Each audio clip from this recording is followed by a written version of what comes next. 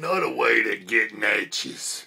You know, those new urinals they've got that flush automatically when you're done taking a piss? Isn't it obvious that the fucking sensor is set up at fucking dong level? How do you think all these fucking dong pictures are getting on the fucking internet on all these websites, huh? That's what they're doing. That thing, it's got a camera in there. And every time you're taking a piss, it's snapping fucking photos of your fucking schlong.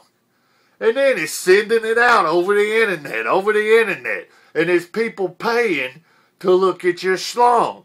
And you're not getting paid for it, huh? You're not getting a fucking dime of it.